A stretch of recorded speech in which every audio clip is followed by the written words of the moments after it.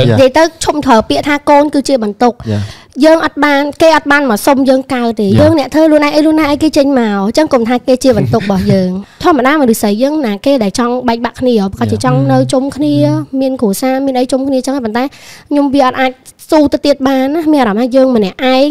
ម្នាក់ឯងហើយយើងអត់ទទួលបានការស្រឡាញ់ទៀតហើយពេលដែលខ្ញុំកាត់ចិត្តដាច់ពីគាត់មែនតើហ្នឹងគឺពេលដែលខ្ញុំអឺសម្រាប់កូនយ៉ាពេលដែលខ្ញុំសម្រាប់កូនអឺ យើងឈឺពោះយើងអីយើងពិបាកយើងវេទនាពេលដែលគ្រាន់តែកាត់កូនហ្នឹងហើយភ្លាមខ្ញុំចាប់ផ្ដើមមើលឃើញតម្លៃខ្លួនឯងហ្មង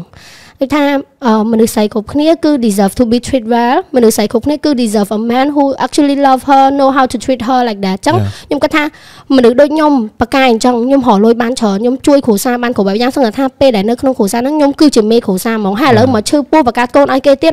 ហេតុអីបានគ្រាន់តែគេធ្វើឲ្យខ្ញុំសប្បាយចិត្តគេធ្វើអត់បានអ Yeah. ញ្ចឹង what is the point to stay យ៉ាព្រោះគេយើងចង់រកខ្ញុំចង់បាន partner មួយដែល help me grow ពេលដែលយើងមាន partner ដែលជួយយើង